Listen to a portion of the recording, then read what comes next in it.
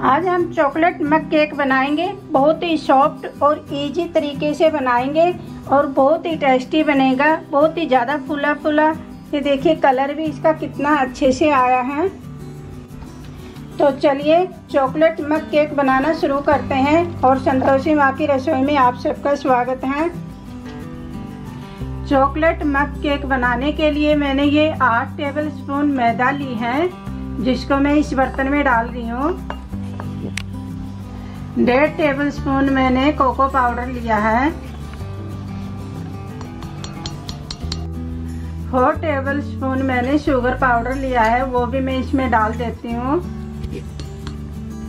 Half teaspoon baking powder, वो भी मैं इसी में डाल रही हूँ। वन फोर्थ टी स्पून मैं बेकिंग सोडा डाल रही हूँ। अब हम इन सारी सूखी चीज़ों को अच्छे से मिक्स करेंगे।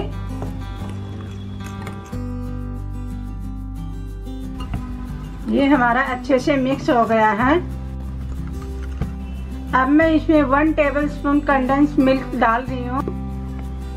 अगर आपके पास ये नहीं है तो आप टू टेबल स्पून चीनी एक्स्ट्रा डाल सकते हो। अब मैं इसमें टू टेबल स्पून घी डालूँगी। घी की जगह आप बटर या ऑयल भी डाल सकते हो। वन टेबल स्पून में फ्रेश क्रीम डाल रही हूँ। आप क्रीम की जगह मलाई भी यूज़ कर सकते हो। टू टेबल स्पून में मिल्क डाल रही हूँ। हम मिक्स करने के बाद देखेंगे, अगर हमारा गाढ़ा हुआ तो हम और डालें। One tablespoon chocolate syrup अब मैं इस मिक्सर को अच्छे से मिक्स करूँगी।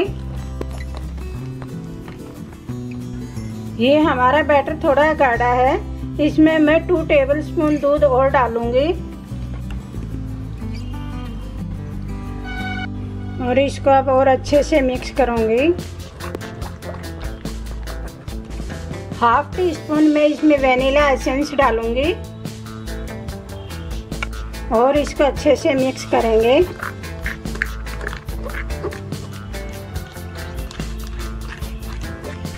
मग केक का बैटर हमारा देखने बन के रेडी हो गया है। अब हम इसको मैग में डाल लेते हैं। अब मैंने मैग में घी डाल दिया है। इसको चारों ओर फैलाती हूँ। ये हमारे मग भी तैयार हो गए हैं। अब हम इसमें बैटर डालेंगे।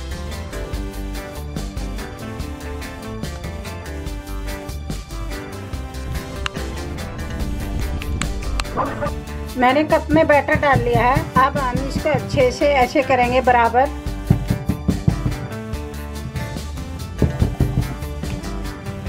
अब मैं इसके ऊपर चोको चिप्स डाल रही हूँ। हमारे मग केक तैयार हो गए हैं। अब हम इसको बेक कर लेते हैं। मैंने गैस पर ये पतीला रख दिया है। पतीला में मैंने नमक डाला है। इसको मैंने पहले भी यूज़ किया हुआ है नमक को। अब मैं इसमें केक रखूँगी।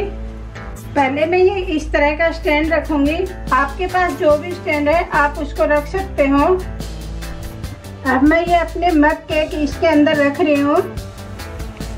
आप थोड़ा सावधानी से रखना, क्योंकि हमारा पतीला बहुत ज़्यादा गर्म होता है। अब मैं इसको 25 मिनट के लिए ढक के छोड़ देती ये देखिए फ्रेंड्स हमारा चॉकलेट मग केक बनके तैयार हो गया है। मैंने इसको गैस से उतार लिया था। इसको पाँच सात मिनट रख दिया था ठंडा होने के लिए। अब हम इसको सजा लेते हैं। इसका कलर कितना अच्छा आया है। अब मैं इसके ऊपर चॉकलेट सिरप से सजाऊँगी।